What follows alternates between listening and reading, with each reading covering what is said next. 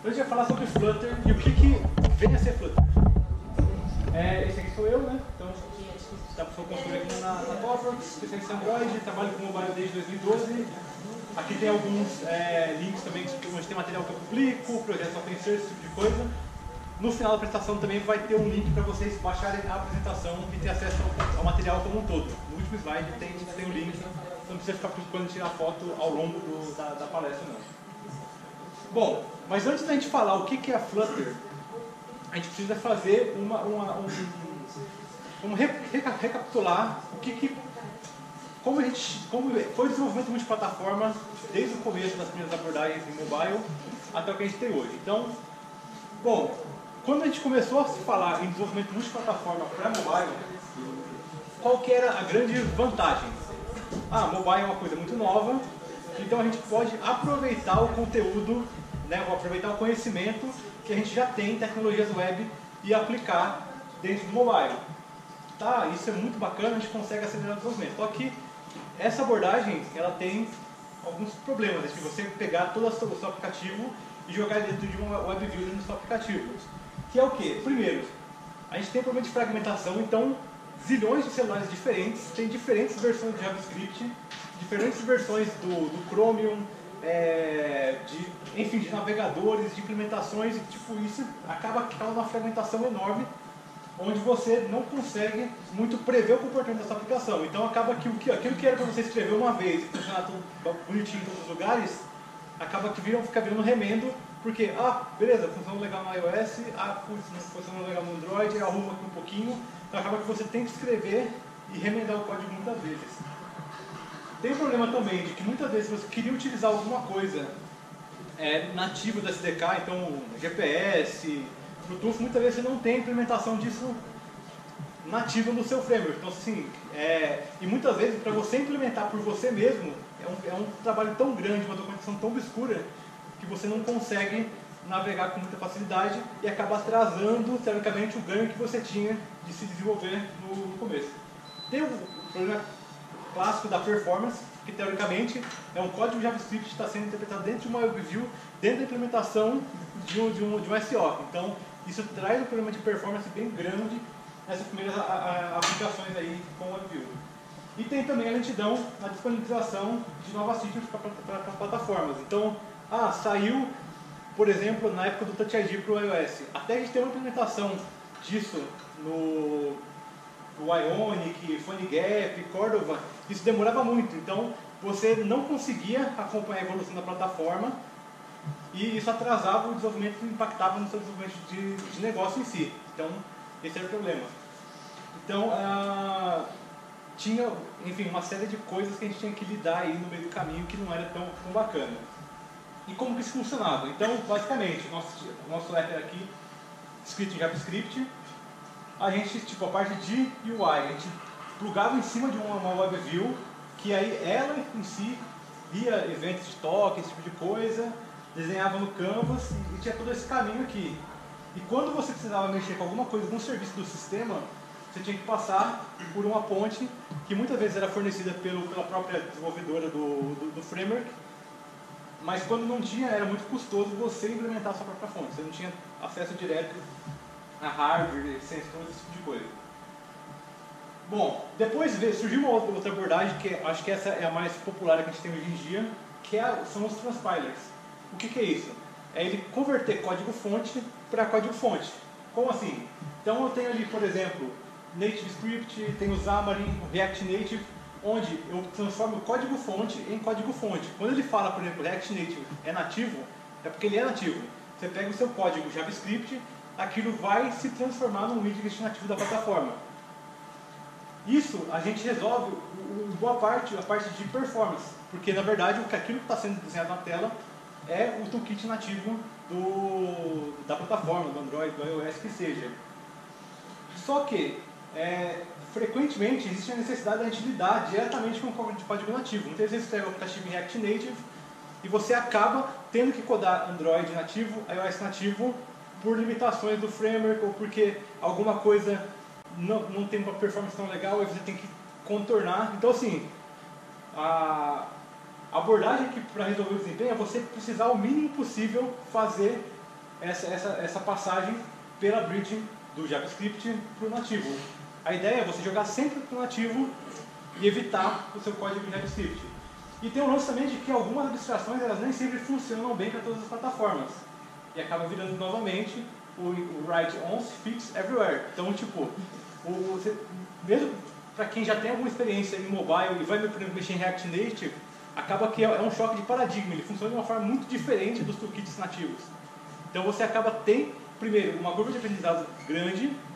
Quando vem uma pessoa de web que tem experiência, por exemplo, no React e vai codar no React Native, acaba que não tem também conceito de abstração nativo ali também e acaba que, enfim, não é tão é, liso rodar de um lado para o outro. A gente quando precisa otimizar alguma coisa por questão de desempenho, enfim, ou algum acesso nativo para a plataforma. E o que acontece aqui? Então você tem o JavaScript, você tem a, a ponte que vai fazer a transpilação e isso bate direto nos widgets da plataforma, no toolkit Apple, Android, que seja, e eles lidam então com canvas, toque, esse tipo de coisa. E também essa mesma bridge ela passa por cima da, de, de acesso nativo a alguns componentes da plataforma, GPS, câmera, esse tipo de coisa. E aí, então, vem o Flutter. Como que funciona o Flutter? Por que, que o Flutter ele é um pouco diferente? Porque ele é uma engine. Como assim ele é uma engine? Provavelmente todo mundo já jogou algum jogo de celular né, na, na vida. Os jogos celulares eles não são codados, por exemplo, para iOS, para Android, para PlayStation, para Xbox, para PC. Quase sempre eles utilizam uma engine ali. Então, ou seja, você tem as abstrações, seu código é, é, é escrito ali em uma linguagem, sei lá, pensando no Unity, por exemplo, C Sharp ou JavaScript, se eu não me engano, e aí você tem, teoricamente, a engine que ela sabe se comunicar com cada um dos sistemas operacionais diferentes, certo? É uma implementação muito eficiente e que tipo, garante o desempenho dessa plataforma, utilizando recursos do SEO como GPU, thread, esse tipo de coisa. E você não tem problema de desempenho e você, teoricamente, tem o benefício da multiplataforma. E aí, a ideia do Flutter é o quê? E se a gente criasse uma engine para, em vez de codar jogos, a gente codar apps. Então ele é um, uma camada embaixo, implementada em C++, que vai fazer esse papel de uma engine para criar aplicativo.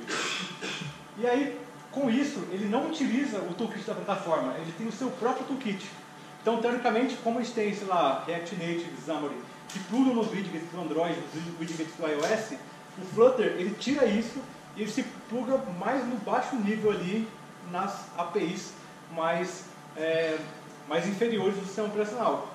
E aí com isso, ele tem acesso direto a gráficos, som e várias outras coisas com, sem ter os trade-offs de transpilação, de ter que fazer a transferência de uma linguagem para outra.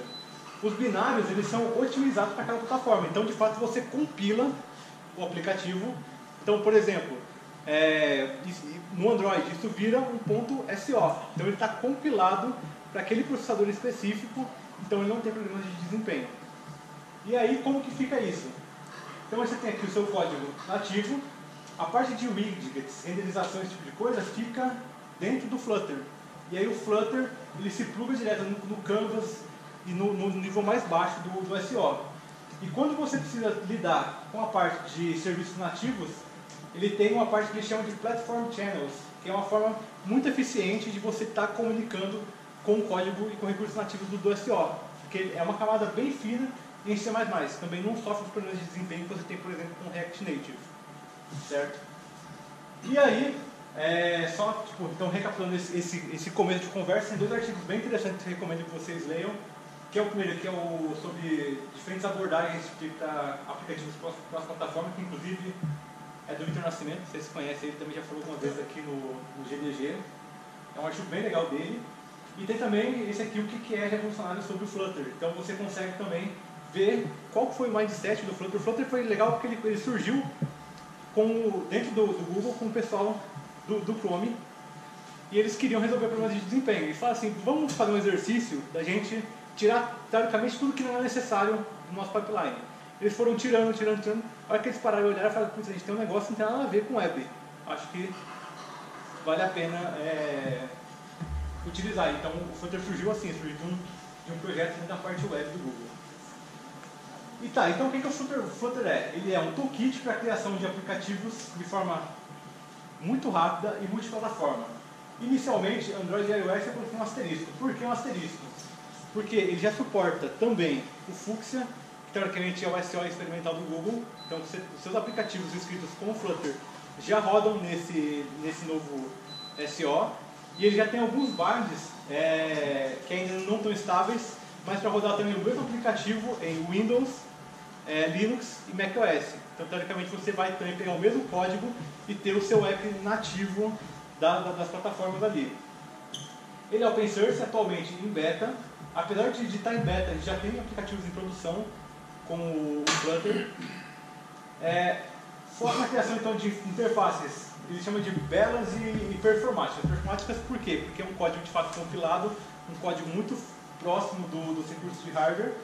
E também ele tem uma implementação bem rica da, da parte de, de toolkits de material design, de toolkits nativos de iOS também, a parte de animações. Inclusive, é, eu como desenvolvedor Android, quando eu olhei algumas APIs do Flutter, eu fiquei até com inveja, porque são coisas que no Android é muito difícil de implementar e no Flutter você faz com duas linhas. Aí você, meu, por que você não está implementado no Android também?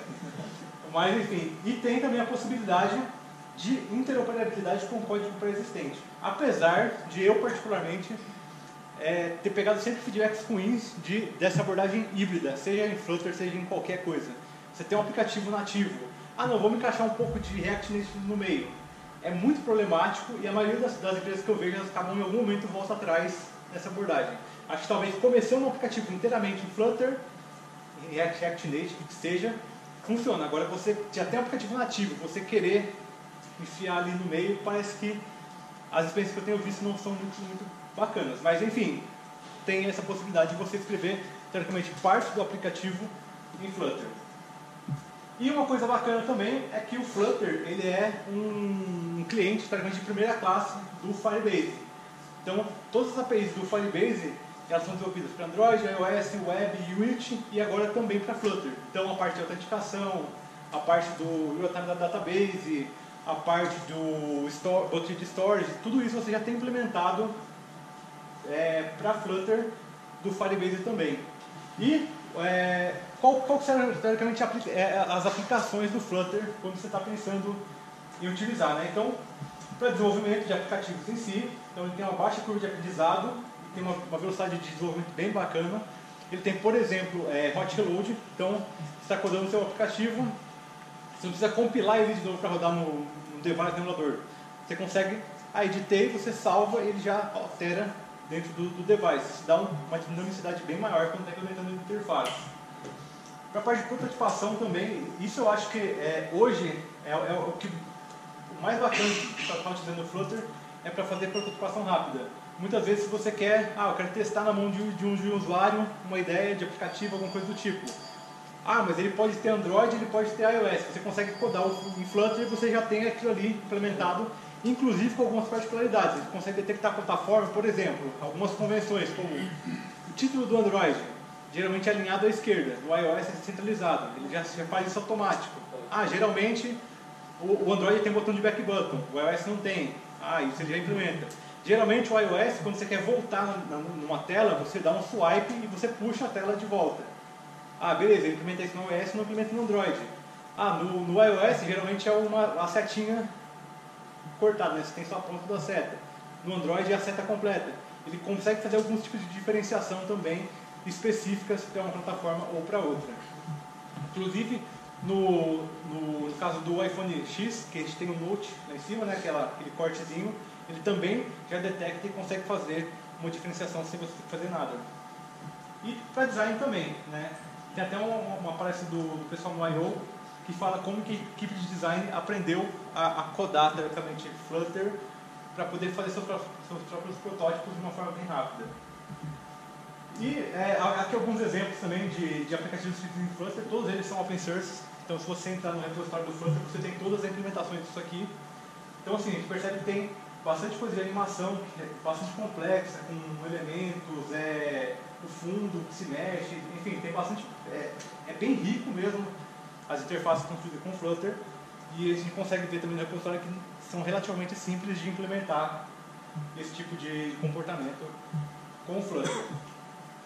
Então, como que é, é, é a stack? Então, a gente tem aqui embaixo a, as engines que ele, se pluga. Então, Skia no caso do Android. É, no, no, iOS, no Mac, ele plugava em cima do OpenGL que acho que ontem na WWDC foi falado que o OpenGL vai ser deprecated, marcado como deprecated, todo mundo deve migrar para o Metal, se não me engano, que é o framework novo da, da Apple. E aí o pessoal do Flutter falou que eles já estavam começando a implementação disso, só vai ser acelerado provavelmente, mas eles continuam dando suporte normalmente. E aí então você tem a implementação do Material aqui em cima. Cupertino é o toolkit de, de, de não só de ícones, né, mas na verdade de elementos de, de interface do iOS. Tem as classes de renderização, a parte de animação, gestos, enfim, esse tipo de coisa. E a linguagem, que é o Dart. Aí você vai falar, putz, Dart, né? Dart que dá aquela. Mas tava, tava indo tão bonito até agora, né?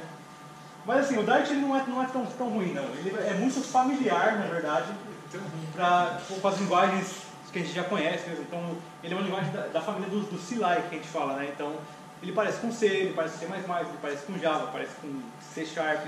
Ele segue né, essa convenção. Você consegue ler um código Dart muito fácil se você já tem conhecimento de alguma dessas linguagens. É uma linguagem que já tem experiência de produção também, então já é amplamente utilizada em vários outros produtos do Google. Ele compila nativamente para ARM e para x86, então basicamente suporta todo o range de, de devices é, mobile e também transpila para JavaScript. Então também tem, apesar de não ser muito utilizado, tem um toolkit do Dart para estar tá utilizando para web também. Tem uma, uma standard library bastante vasta, então desde a parte de assincronismo, é, operações de string, collections, enfim, tem várias coisas que já estão na support library, então muito provavelmente para todas as tarefas comuns que você tem, é, você consegue utilizar sem ter que utilizar nenhuma biblioteca externa. E a gente tem a versão 2 também, que foi integrada recentemente dentro do, do Flutter. E a versão 2 ela tem várias, teoricamente, ela foi uma reescritura da linguagem, primeiro, para priorizar desempenho e também para dar uma modernizada na API. Então, por exemplo, a NIL passou a ser opcional, Constante passou a ser opcional, tem uma, uma série de coisas também que melhoraram para deixar a linguagem mais legível. Então, né, um Dart, sem, sem medo, sem preconceito, vamos seguir em frente. E aí, uma coisa bem legal do, do Flutter é que já tem um tooling bem completo. Então, quando você instala ele, você tem, passa o, o, comando Flutter, e você tem, por exemplo, o Doctor, Flutter Doctor, ele vai verificar todo o seu ambiente para ver se está tudo instalado direitinho. Então ele fala, olha, falta, falta instalar tal coisa, ah, o plugin não está instalado, não sei o que, está precisando baixar. Então ele já faz para você, detecta, ah, faltou aceitar a licença do, do SDK do Android, esse tipo de coisa ele consegue detectar Flutter Upgrade ele vai atualizar o seu tooling para a versão mais recente. Atualmente a gente tem que estar no beta 3.2, alguma coisa desse tipo. Uma coisa bacana também é que o Flutter ele já está com implementado. Ele acho que das bibliotecas que, que, implementam Material Design, ele é a que está mais avançada hoje. Inclusive, tem vários elementos do Material Design novo, né, o 2, não está chamando de 2, mas que já estão implementados no Flutter, ainda não estão implementados no Android, iOS, web, esse tipo de coisa. É, Flutter Packages para você atualizar dependências no projeto. Flutter Format para você formatar o código no formatador de código de linha de comando. Ele tem um linter também, Flutter Analyze, e o Flutter Runs para você estar tá executando ele no device, emulador ou coisas do tipo. E uh, no, no Android a gente tem o build.gradle, onde a gente geralmente configura dependência de coisa. No Flutter a gente tem um arquivo que chama pubspec.yaml, onde você descreve algumas coisas, coloca dependências. Então, tipo, ah, eu dependo do, do Flutter. Ah, meu aplicativo está dando Mature Design. Deu um true aqui, você já passa a ter acesso a todas as bibliotecas do Mature Design, ícones, animações, toolkit, enfim, tudo já, fica, já passa a ser disponível no seu projeto. E, ah, eu quero adicionar uma dependência a mais, é só vir aqui adicionar também com a versão tranquilamente que você já, já tem acesso a isso. A parte de tooling também, ele já tem plugins é, integrados tanto para o IntelliJ quanto para o Android Studio e tem também um plugin oficial para o VS Code. Então, para quem, tipo, ah não, não gosto de usar IDE, prefiro o editor, dá para usar também. Ah não, gosto de IDE, quero ter tudo ali dentro e tal, também tem debugging, é, autocomplete, sintaxe de sintaxe highlighting, esse tipo de coisa, já está incluso. E a parte do hot load, que é uma coisa bem bacana. Então, por exemplo, eu consigo vir aqui, ah, quero mudar uma string, mudei a string, atualizei, ela já vem aqui e atualiza no aplicativo. Ah, eu quero mudar a lógica de um método. Então, em vez de incrementar, eu quero decrementar o, o contador. Venho, altero, putz, já está funcionando. O botão já passou agora a decrementar em vez de incrementar. E aí, e, ele mantém o estado da aplicação quando ele está... É, quando está fazendo hot load, então você não perde os dados do estado da sua aplicação durante o desenvolvimento. Aí tem a parte de erros de, de runtime, então quando o aplicativo, opa, deu um crash ou ele não compilou e você tá, deu um hot load, ele mostra isso aqui. Na verdade é o stack trace do, do erro. É, aí você fala assim, nossa, mas meu usuário vai ver isso aqui quando crashar meu app? Não, não, em produção ele, ele crasha mesmo, geralmente. Você não vai mostrar isso para o seu usuário. É, e na parte de toolkit de UI, então, a gente tem o, o, a implementação do Material Design, inclusive o Flutter já aparece como implementação oficial, além de Android iOS Web, o Flutter já está aqui, tudo bem, bem bacana. E ele traz todo o toolkit ali que a gente tem, então, Front Action Button, Pickers, é, Navigation Drawer, enfim, a gente tem toda, inclusive alguns elementos que a gente não tem implementação no Android, como por exemplo Steppers, você já viu esse tipo de componente, quando você vai criar tipo um tutorialzinho, ah não, tem que fazer isso, depois isso, depois isso. A gente não tem isso implementado no Android nativamente na Design Library. No Flutter você já tem isso pronto também, que, enfim, é meio triste, mas beleza. E aí tem, enfim, um, parte de widgets bem, bem, bem vasta também para estar tá, tá utilizando. E o, os layouts, eles são é, locais. Então, assim, os widgets, eles são autocontidos. Então, é, ele não se preocupa com quem está em cima dele, com o pai dele. Ele se, ele se preocupa sempre ele para baixo. Então, por exemplo, eu quero centralizar um texto. O texto não necessariamente tem que saber que ele tem que ser centralizado. Ele, ele é um texto, ele é contido. Então, ah, eu quero centralizar um texto. Então, eu crio o widget center e depois dele, o child dele vai ser um text.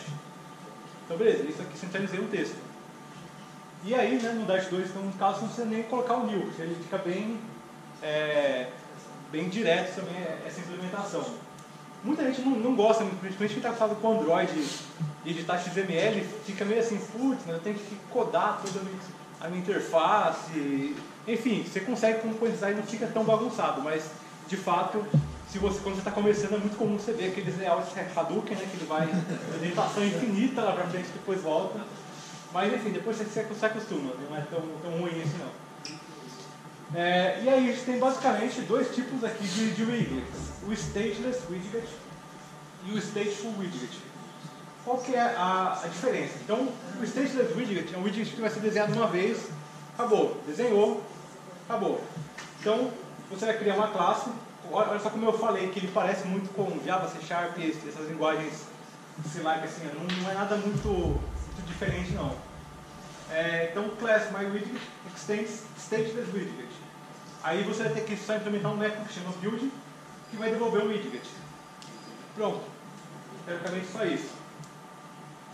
Quando você vai criar um stateful widget, você vai devolver, na verdade, o estado de um widget. Então você realmente coloca aqui, ah, tem um widget que vai chamar myWidget, aqui a classe, extend stateful widget, devolve um state dessa classe. E aí o que é esse state? State geralmente você implementa ele internamente e aí, esse, quando você tem o state, você tem o método setState. O que, que o setState faz? Ele fala para o toolkit do, do, do Flutter para ele redesenhar aquele componente. Então, chamei o setState é porque eu preciso, atualizei os valores dos meus atributos, redesenha esse widget. Então, ah, por exemplo, criei um contador, incrementei mais um. Eu seto o valor do contador e mando, widget, desenha você mesmo de novo. E ele faz isso de uma forma muito eficiente. Então, por exemplo, aqui, ó, incrementou o contador, o set state. Então ele vai executar o bloco e depois vai redesenhar o widget com os valores atualizados. Certo? E aí depois geralmente a gente faz um padrão. Com... Ah, é, uma coisa interessante também é que o, geralmente tem a notação de, de private, teoricamente é você colocar o underline antes. Então isso já, já, já é, faz com que o atributo, a classe que seja private arquivo. Então, em vez de state widget, você coloca widget state, que é a classe que a gente criou, que mantém esse estado. E aí ele também tem, enfim, se o seu devolve uma linha só, você pode também fazer a declaração inline, que fica bem, bem enxuto assim, o seu código. Navegação, como que é a parte de navegação dentro do, dentro do Flutter? Geralmente, quando a gente está implementando um aplicativo, a gente tende a utilizar o Material App, que ele vai fazer essa implementação do Material Design para o seu aplicativo como um todo, enfim, fazendo as especificidades do iOS e do Android. E aí, geralmente, você tem, primeiro, você fala quem que é a sua home. Então, por exemplo, aqui eu tenho uma home screen. Então, minha home screen vai ser esse. O app vai abrir e vai carregar essa esse primeiro widget. E você tem também o que a gente chama de rotas. Como assim rotas? Você vai falar, olha, quando eu bater numa URL como se fosse barra home, você me devolve uma home screen. Ah, quando eu bater na details, você passa a detail screen. Você consegue então criar um padrão de, de URLs e você fazer esse tipo de navegação via URL. E aí depois para você navegar, o que, que você faz? Você tem uma classe chamada Navigator, então push named, ó, navega por barra details. Beleza, ele já vai olhar na sua foto e vai ver ah, quem que é o widget para o Details? Ah, esse aqui. Então ele navega para cá. Ou, por exemplo, eu preciso parametrizar, preciso mandar um parâmetro de uma tela para outra. Você pode é, também chamar o, o, método push e aí você passa a, a, a, implementação da sua classe. Então eu posso criar ela aqui, já setar alguns valores de estado nela, esse tipo de coisa, e só chamar push. Ah, eu quero voltar na navegação, eu quero pegar a tela e voltar para a tela de trás que eu, que eu tinha mandado você consegue chamar só pop e acabou. Esse context, ele é um objeto que ele vem sempre na construção do widget. Quando você voltar aqui, ó, você tem um build context aqui, na, aqui também build, você sempre tem esse objeto, teoricamente ele consegue controlar todo o ambiente do, do Flutter. Tá, e aí eu preciso então lidar com o código nativo, preciso é, ah, implementar alguma coisa que o meu aplicativo ah, lá, tem que lidar com câmera, tem que lidar com nível de bateria e é uma implementação específica do meu SEO. Como é que eu faço para implementar de fato essa lógica diferente para o Android e iOS? Através de Platform Channels. Então o que, que, é isso? É uma camadinha de comunicação então que permite que o seu aplicativo Flutter se comunique com código nativo, seja Swift, Kotlin, Java, Objective-C, alguma coisa do tipo. Então, por exemplo, vamos supor que no Android eu quero pegar o nível de bateria. Então eu criei aqui um canal, né, como aqui para nomear um canal, crio um activity que estende Flutter Activity, ou se tiver conta no iOS, que estende, tem o Flutter View Controller também. E aí é, registro essa activity aqui, então generate plugin resistant. É, e aí tem o método channel que eu consigo passar aqui um callback para ele. Então, por exemplo, eu quero saber o nível da bateria. Então eu nomeei esse, esse método, né? Então, tipo, sempre que o Flutter chamar, ele vai cair aqui. Então eu verifiquei se o, meu, se o método que ele pediu é o get level. Aí beleza, fiz a minha lógica aqui, não sei o que, consigo passar sucesso, falha, esse tipo de coisa como callback para ele. E aí lá no, no, no Flutter, o que, que eu faço? Eu só pego e chamo aqui, ó, platform invoke method, passando aquela mesma string que eu coloquei aqui. Então consigo fazer essa comunicação com alguma lógica, alguma coisa do tipo nativa e jogar para o Flutter sem problema nenhum de performance.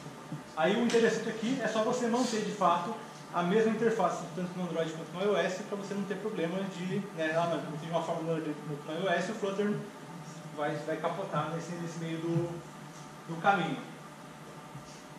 Enfim, é, alguns links também, e depois a gente vai fazer um live code rapidinho também, só para vocês verem como que é o Flutter. Então, tem links aqui, é, outro, outros vídeos também. Então, ó, o Flutter, para quem já desenvolve web, para quem já desenvolve Android, para quem já desenvolve React Native e também para quem desenvolve iOS, já tem também alguns guias que fazem algumas analogias de como que é o desenvolvimento de uma plataforma, como que é o desenvolvimento de outra plataforma. Então você consegue entender já pegando e aproveitando alguma experiência, algum, alguma experiência prévia que você venha a ter.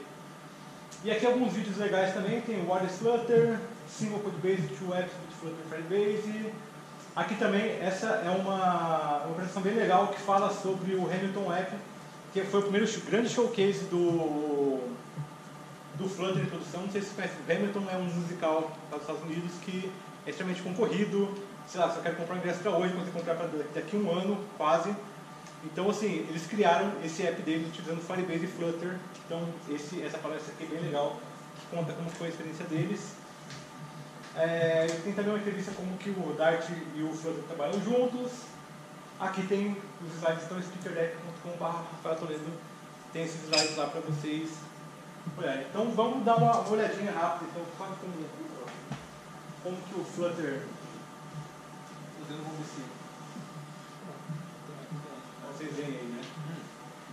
Então, assim, é, esse aqui é um projeto novo em Flutter, então, tipo, se der um salve depois, vai aparecer isso aqui, que é exatamente aquele é, aplicativo do, do, contador. Então, eu venho aqui, vou selecionar que eu quero rodar esse modo do Android. Vou rodar aqui. Então, assim, a primeira vez que ele executar, de fato, vai ser um build normal de Android, um build normal de iOS, e vai demorar um pouquinho mesmo, na boa. Só uma coisa, eu uso a ideia branca só para apresentar, eu não posso uma ideia branca. sou contra, sou contra. É... Então assim, ó, o primeiro build não tem. Depois que o código está no, no device, aí, aí, aí que a magia funciona esperando ele grudar aqui. Aí é, aí é Android mesmo, né? Isso então já, já conhece. O. Aí, rodou. Então beleza, então aqui ele rodou o aplicativo Flutter. Então você vê que tem a implementação do Mature Design bem, bem bacana. Aqui ele vai, ele vai mostrar também como está a hierarquia da sua, das, suas, das suas views, né? Então, tipo, como no Android a gente consegue dar um inspect também, o teste informação a que você ela já está aqui na, na, mão. E aí, então, eu tenho aqui, só entendendo o código. Então, é, tem uma no main, como qualquer linguagem de programação, o Dart também tem, onde eu vou chamar o, o, run app e passar uma implementação de widget. No Flutter, tudo é um widget, certo? Então, eu criei aqui o primeiro um widget, que é um material app. Então, eu chamei aqui de Flutter Demo, que isso aqui vai ser o nome do aplicativo do ícone que vai ser instalado ali. Passei a parte de temas, então coloquei aqui azul, mas se eu quiser. Opa!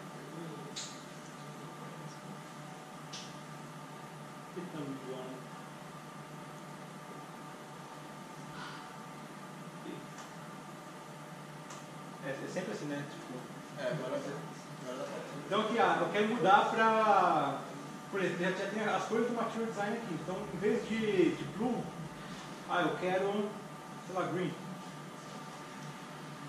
Aí eu venho aqui, hot load, uh, mudou. Ah, eu quero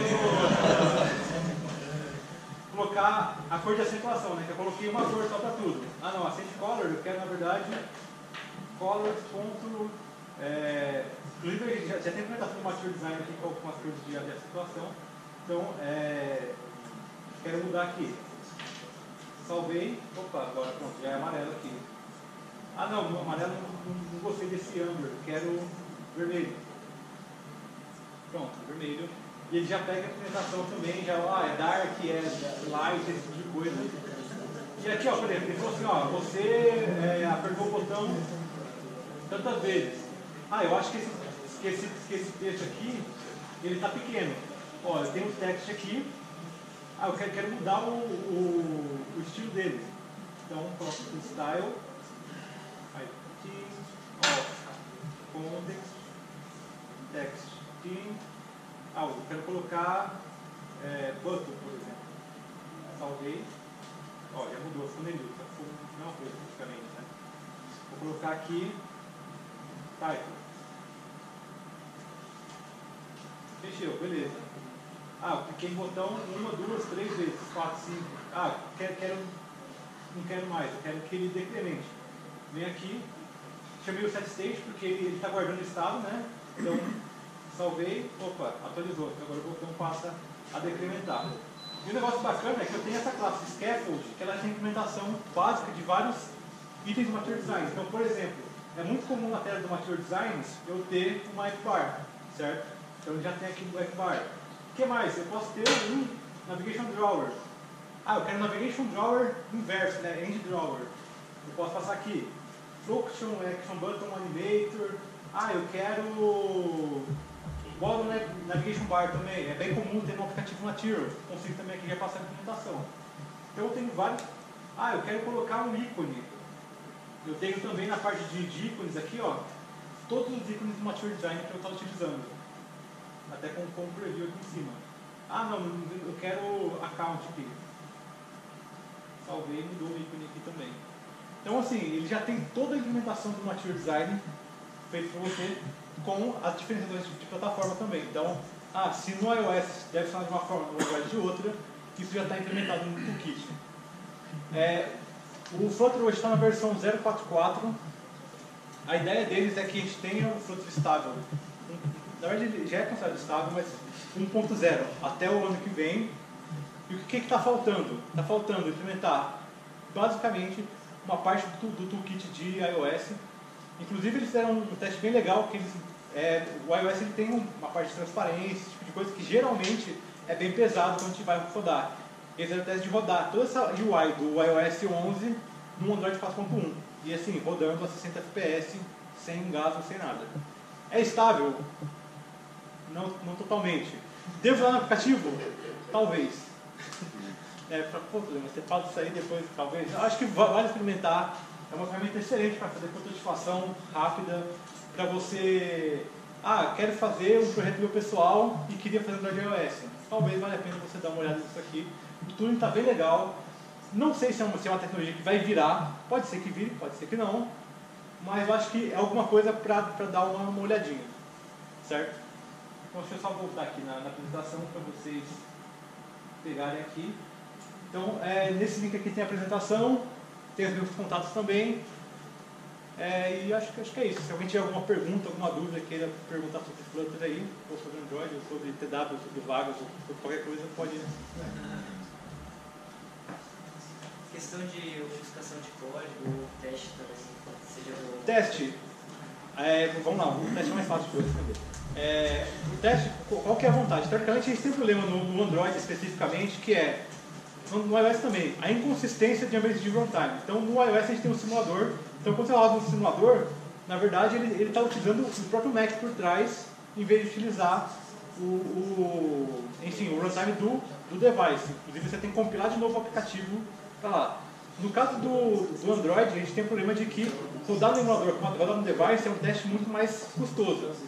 Teoricamente, com o Dart, você tem a mesma implementação da, da VM do Dart, no, no Windows, no Mac, no Linux, que seja, é a mesma implementação que tem no device. Então você tem uma garantia de código muito próximo. Então você tem biblioteca de teste, de asserção, de testar o ID, tipo de coisa completa. Na parte de ofuscação de código, é, basicamente você vai utilizar qualquer ferramenta de ofuscação de código nativo, porque na verdade o seu aplicativo ele vai gerar um ponto SO, ele é compilado ali. Então ele vai gerar código de máquina específico para ARM, chuvetomia, o que seja. Então você vai utilizar as mesmas ferramentas que você utilizava, tipo o ProGuard, ProGuard não, porque o ProGuard não ofusca, é, por exemplo, o código nativo, mas sei lá, um DexGuard ou alguma coisa desse tipo, é, é um código compilado, você ofusca da mesma forma. Mas ele chega a gerar um APK? Ele gera um APK que você vai ter uma activity de entrada e um ponto .so que vai ser carregado para ali. Você tem uma Flutter Activity. Aí, enfim, a não ser que seu aplicativo seja híbrido, né? uma parte nativa uma parte Flutter, aí, enfim, mas é, teoricamente não tem muita diferença não. SO por arquitetura. Isso. Teoricamente no Google a gente resolveu na Apple também. Agora. Tipo, esse Hello World aí tem quantos mega?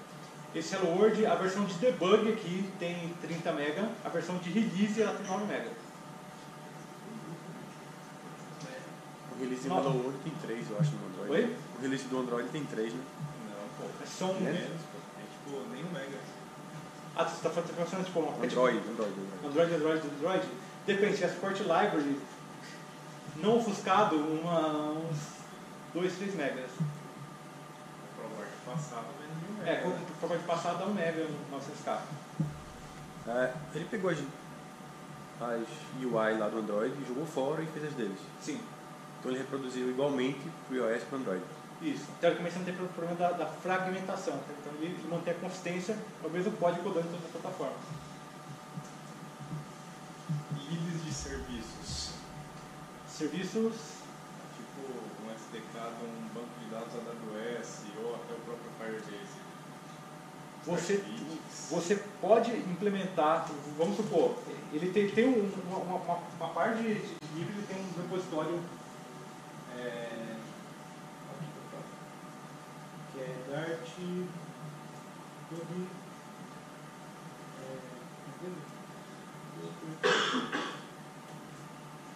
esse site aqui é, é, basicamente é tipo um Maven Central de bibliotecas Flutter e pô, então você tem uma infinidade de bibliotecas aqui também e tal. Se você se não tem o wrapper, você consegue, usando o Platform Channel, você pegar a implementação oficial da iOS e você codar esse tipo de coisa. Inclusive tem, acho que no repositório do Flutter, por exemplo, eu sou dev Android, eu quero contribuir.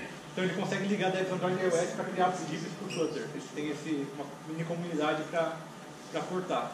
Mas é assim, teoricamente não tem, você pode usar código nativo e fazer o bind. É sempre um fallback normal. Você aproveita bastante também do Dart, né? As Sim. do Dart você pode usar. É, então, por exemplo, a parte de HTTP, assincronismo, é, sei lá, tarefas como câmera, GPS, tipo de coisa, assim, já, já, tem, já tem pronto. Então, é, você, é raro você ter que implementar alguma coisa, mas se ah, é uma, é uma solução proprietária, uma SDK específica, você pode, utilizando o Platform Channel, fazer a comunicação do Flutter com código nativo. Oi? Eu acho que sim. Quer ver? É, Firebase S. Aqui, ó, Firebase é de móvel. Está implementado também. E, e assim, toda, todas essas implementações do Firebase e esse tipo de ferramentas Google, elas são implementadas pelo time do Google mesmo. Eles, eles mantêm várias bibliotecas. Então, é, é, é, um Class, Library tal. Funcionaria basicamente da mesma forma. Class Library, como assim? É, seriam classes compartilhadas em módulos e projetos diferentes, igual a Android e iOS e tal. É uma live Onde você coloca dois módulos. Não, é, teoricamente você pode criar o seu pacotinho também e compartilhar da, da mesma forma, não tem muito, muito segredo não. E se você tiver que lidar com código nativo, aí você implementa o Android iOS e cria a sua abstração em cima. É bem tranquilo. E as permissões, como é que fica? Ele, ele gerencia isso aí também. Tem como você pedir lá? Não, Tem. muda, como isso? Não, não, tipo, ele, Continua já sendo as permissões do Android. Sim, versão do Android, versão do iOS, ah, eu quero mandar push para versão do iOS, ele, ele lida também da mesma forma. Não precisa ir pro nativo, não. Oi? Não precisa ir pro nat- nativo. Não, não. Esses tarefas comuns ele já, já, já tem o, o handle disso aí. Tipo, Note, eles, ele- eles falaram que eles pretendem sempre seguir muito próximo da plataforma. Então, por exemplo, tem uma grande preocupação hoje no pessoal que está usando React Native, que é o lance do target. Teoricamente, o Android, o Google Play, a partir de agosto, ele vai parar de aceitar aplicativos que não têm um target 26 ou mais. E o React ainda é 23, o React Native ainda é 23. Aí, tipo, o, Flutter falou assim, não, a gente vai garantir que a gente vai estar sempre olhando a última, o mais próximo de sair, assim. Tem um time bem grande desenvolvendo o Flutter dentro do Google. É, eu tive uma olhadinha no Dart, assim, e eu vi muita coisa que é colocar sync e eles param aquilo de forma síncrona para esperando o callback no lugar. Eu, não, eu dei uma olhadinha no Flutter e eu não vi tipo, cancela essa requisição da FTP para mim, eu não vi um, sabe, eu não vi um disposable. Sim. E você, você chegou a dar uma olhada nesse tipo de coisa? É. É, um dos momentos que eu vi, eu trabalhei no GitHub, assim, eu não via um, estou precisando de requisição porque o usuário saiu do app. Sim. Eu não vi isso. É, não, na verdade ele utiliza para boa parte das requisições a parte do, do assincronismo, que é o pacote do Dart Async. E é assim, muito parecido com a parte de, de assincronismo no, no JavaScript, por exemplo. Async await, e você pode dar um cancelar ali, ali nele, mas teoricamente o código assíncrono ele tem a cara de síncrono mesmo ali. Só que eu não tinha visto mesmo, eu fiquei Sim. curioso, nunca fiz nada. Beleza? Bom, se vocês quiserem depois estar conversando, enfim, tem os meus contatos também, então fique à vontade aí para conversar sobre Dart, Android, Kotlin, Firebase qualquer coisa relacionada aí. Valeu, gente. Obrigado.